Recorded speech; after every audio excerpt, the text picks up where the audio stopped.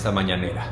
Dijo el presidente López Obrador que él no va a emular, no va a imitar a Peña Nieto y a Felipe Calderón en lo que hace a la deuda impresionante que dejaron en el país, en términos del PIB, 8%.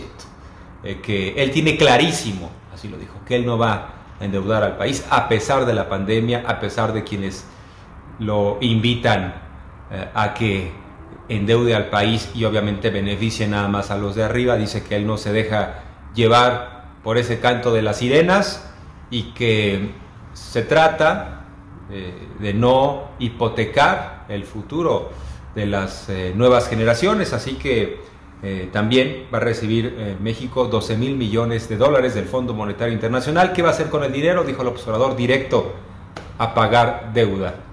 Así que vamos a escuchar. Estamos buscando que en términos de eh, PIB, ellos aumentaron la deuda en su sexenio ocho puntos, nosotros vamos a tener un incremento menor que ese. Ese es el planteamiento, menos del 8% del PIB menos de lo que ellos endeudaron al país, a pesar de la pandemia. Entonces, eh, vamos bien eh, y vamos a continuar con este plan. Em, el fondo va a entregar unos recursos a todos los países miembros, van a eh, otorgar créditos a tasas bajas por 650 mil millones de dólares. En el caso de México le corresponden alrededor de 12 mil millones de dólares.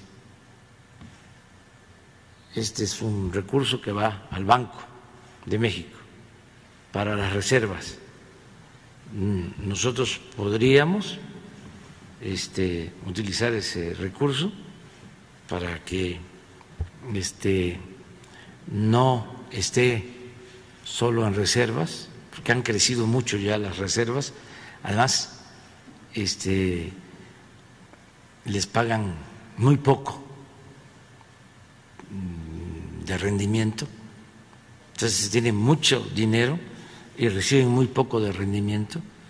Entonces, nosotros podríamos utilizar esos recursos para pagar deuda por anticipado.